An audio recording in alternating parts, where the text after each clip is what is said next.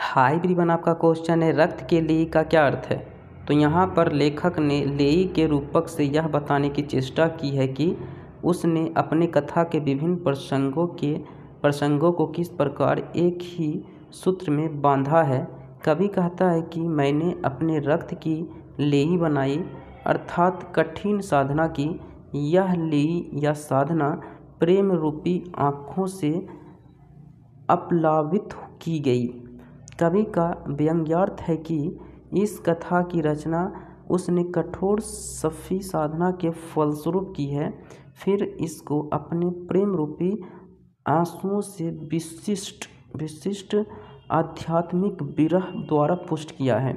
लौकिक कथा को इस प्रकार अलौकिक साधना और आध्यात्मिक विरह से परिस्पुष्ट करने का कारण भी जायसी ने अपने काव्य कृति के द्वारा लोक जगत में अमरत्व प्राप्त की इच्छा प्रबल इच्छा बताया है। ठीक है?